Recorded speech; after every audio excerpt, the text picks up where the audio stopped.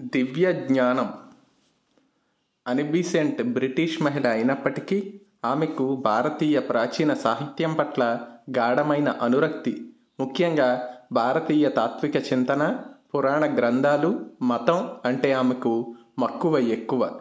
ప్రత్యేకించి హిందూ మతంపై ఆమెకు అమితాసక్తి ఉండేది. అమూల్యమైన ప్రాచీన సంస్కృతి సంపత్తు కలిగిన భారతీయులు పాశ్చాత్య సంస్కృతి పట్ల వ్యామోహం పెంచుకోవడం ఆమెకు నచ్చలేదు. విదేశీయులు భారతీయులను అనుకరించాల్సిన అవసరం ఉందేమో కానీ పశ్చిమ వాసులను అనుకరించాల్సిన ఆవశ్యకత భారతీయులకు లేదు అన్నది ఆమె ప్రగాఢ విశ్వాసం. అనాదరణకు అలక్ష్యానికి గురైన భారతీయ ప్రాచీన సాంప్రదాయాల పట్ల ఆవిడ ఆవేదన వ్యక్తం చేసేది. అనిబీసెంట్ తాత్విక భావాలను ప్రసాదించే ముందు ఆమె ఏ సంస్థ నుంచి తన కార్యాచరణకు ఉత్తేజం పొందారో ఆ సంస్థ గురించి క్లుప్తంగా తెలుసుకుందాం. దివ్యజ్ఞాన సమాజం. భారతదేశంలో దివ్యజ్ఞాన సమాజాన్ని నెలకొల్పింది ఒక రష్యన్ మహిళ. ఆమె పేరు మేడం బ్లావ్ట్స్కీ గ్రీకు భాషలో థియోస్ అంటే దేవుడు లేక దైవత్వం. సొఫియా అంటే జ్ఞానం. ఈ రెండు పదాల కలయికతో ఏర్పడింది థియోసఫీ. థియోసఫీ అంటే దివ్య జ్ఞానం థియోసాఫికల్ సొసైటీ అంటే దివ్య జ్ఞాన సమాజం. ఈ సమాజం పేరుతో ఆంధ్రప్రదేశ్లోని మదనపల్లెలో నేటికి ఒక సుప్రసిద్ధ కళాశాల ఉంది. అదే Besant theosophical college. Helena Petrovna Petrovna అనే ఆవిడ భారతదేశంలో థియోసాఫికల్ సొసైటీని ఏర్పాటు చేశారు. పద్దెనిమిది వందల ముప్పై ఒకటిలో రష్యాలో ఒక ధనిక కుటుంబంలో జన్మించిన ఈమెకు బాల్యం నుండే అతీంద్రియ శక్తుల పట్ల అమితమైన ఆసక్తి ప్రేమ ఉండేది. ఆ మాటకొస్తే పంతొమ్మిదవ శతాబ్దం ప్రారంభంలో జారు చక్రవర్తుల పాలనలోని రష్యాలో సమృద్ధిగా వృద్ధి చెందిన మూఢ విశ్వాసాలు సనాతన సాంప్రదాయాలే. హెలోనా పెత్రోవ్నా వివాహం కాగానే రష్యన్ సాంప్రదాయం ప్రకారం బ్లావుడ్స్కీగా మారింది. తనకంటే పాతిక సంవత్సరాల పెద్దవాడైన బ్లావట్స్కీని ఆమె పెళ్ళి చేసుకుంది. అయితే వారి దాంపత్యం త్వరలోనే విచ్ఛిన్నమైపోయింది.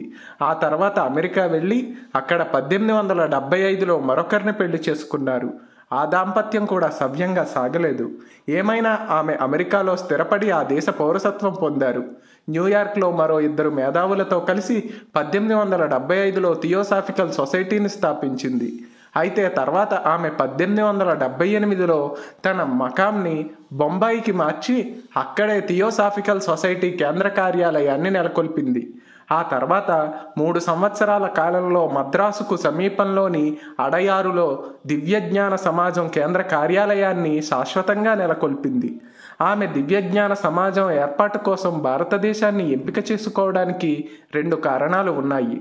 ఒకటి భారతదేశంలోని మౌర్య కూట్ హోమి అనే ఇద్దరు మహర్షులు ఆమెకు ఆధ్యాత్మిక గురువులు. వారి ఆదేశం ప్రకారమే ఆమె మొదట అమెరికాలో దివ్యజ్ఞాన సమాజాన్ని మొదట నెలకొల్పి ఆ తర్వాత వారి ఆదేశం మేరకు తన కేంద్ర కార్యాలయాన్ని శాశ్వతంగా భారతదేశానికి మార్చారు.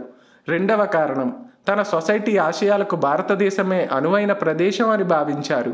థియోసాఫికల్ సొసైటీ ప్రధాన ఆశయాలలో ముఖ్యమైనవి విశ్వమానవ సహోదరత్వం. వైవిధ్యంలో ఏకత్వం వెలసిల్లే భారతదేశం అలాంటి విశ్వమానవ సౌభ్రాతృత్వ సంకల్పానికి దోహదం చేకూరుస్తుంది అని ఆమె విశ్వసించారు. ఆశయాలు. దివ్యజ్ఞాన సమాజం ఈ క్రింది ప్రధాన ఆశయాల ఆచరణ కోసం ఏర్పాటు జరిగింది. జాతి వర్ణ కుల మత లింగ వివక్ష లేకుండా విశ్వమానవ సౌభ్రాతృత్వం అనే ఉత్కృష్ట ఆదర్శాన్ని వ్యాప్తి చేయడం. అన్ని దేశాలకు చెందిన ప్రాచీన మతాల తత్వశాస్త్రాల విజ్ఞాన శాస్త్రాల అధ్యయనానికి అవసరమైన సౌకర్యాలు కల్పించడం మానవులో మానవునిలో నిద్రాణంగా ఉన్న అతీంద్రియ శక్తులను మేల్కొలిపి వికసితం చేయడం ప్రకృతిలో ఇప్పటిదాకా ఆవిష్కృతం కాని వివిధ రహస్యాలను అన్వేషించి వెల్లడించడం బ్లావుడ్స్కి మంచి రచయిత కూడా. ఆమె దివ్యజ్ఞాన అంశంపై గొప్ప పుస్తకాలు రచించారు. The secret doctrine the voice of silence మొదలైనవి. ఆమె ఎంత వినమ్రురాలంటే తాను కొత్తగా కనుక్కున్నదేదీ లేదు అంది. వివిధ దేశాల మతాల నుంచి దర్శనాల నుంచి ఉత్తమ సిద్ధాంతాలను సమీకరించి వాటిని ఒక వ్యవస్థాత్మక రూపంలో ప్రచురించడమే తాను చేసిన పని అని వివరించారు. అనీబిసెంట్. పద్దెనిమిది వందల నలభై ఏడు అక్టోబర్లో అనీబిసెంట్ లండన్లో జన్మించారు. ఈమె తల్లిదండ్రులు ఐర్లాండ్ వాసులు. పద్దెనిమిది వందల అరవై ఆరులో ఫ్రాంక్ బిసెడ్ను వివాహం చేసుకున్నారు. కానీ ఆ దాంపత్యం సవ్యంగా కొనసాగలేదు. అతడు పురుష దుహం దురహంకారి. బీసెంట్ స్వేచ్ఛాభిలాషిడి ఇద్దరి మనస్తత్వానికి కళ్ళెం వేసుకు జీవించింది. పద్దెనిమిది వందల డెబ్బై నాటికి ఆమె ఇద్దరు బిడ్డల తల్లి అయ్యారు. భార్యాభర్తల మధ్య అశాంతి రగులుతూనే ఉంది. ఆమె మనశ్శాంతి కోసం మత గ్రంథాలను భగవంతుని గురించి గ్రంథాలను ఆశ్రయించింది. అయినా ఇద్దరి మధ్య వైరుధ్యం వై వైమనస్యం అంతం కాలేదు. చివరికి ఆమెను భర్త ఇంట్లో నుంచి వెళ్ళకొట్టాడు అనిబీసెంట్ ఆసక్తి మత గ్రంథాల నుంచి హేతువాదానికి మళ్ళింది. తత్ఫలితంగా నాస్తిక సంఘంలో చేరింది. పంతొమ్మిదవ శతాబ్దంలో చివరి దశకంలో ఇంగ్లాండులో నాస్తికవాదం ఒక ఉద్యమంలాగా సాగుతుండింది. ఆమె ఆ ఉద్యమంలో పాల్గొన్నారు. పంతొమ్మిది వందల డెబ్బై నాలుగు నుంచి పన్నెండు సంవత్సరాల పాటు నాస్తిక సంఘం సభ్యురాలిగా సేవ చేశారు. కొన్ని గ్రంథాలు కూడా రాశారు.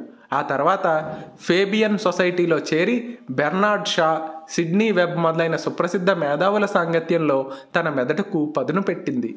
ఈ దశలోనే మరో ముఖ్యమైన సంఘటన జరిగింది. రష్యన్ మహిళ అయిన మేడం బ్లాట్స్కీ రాసిన ది సీక్రెట్ డాక్ట్రిన్ అనే గ్రంథం చదివింది. ఈ గ్రంథం అనీబిసెంట్ జీవితంలో మూల మలుపు సృష్టించింది.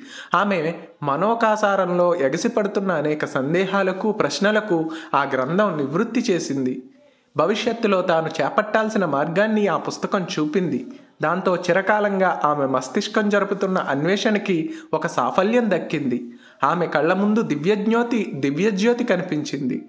ఆమె దివ్యజ్ఞాన సమాజంలో సభ్యత్వం తీసుకున్నారు.